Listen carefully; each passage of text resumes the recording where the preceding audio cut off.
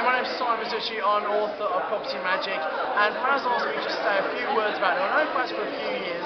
He's been coming on to our Property Investor Network meetings, and very recently he shared with me how he was inspired when he read Property Magic, and how I've helped him go on and buy so many properties. And you I must admit, I'm really inspired by what he's done, and he's gone out there, he's found lots of properties, he's built a big portfolio himself, and he's sourced properties for many other people in the London area. So, it's definitely worth you speaking to Faz seeing how he can help you.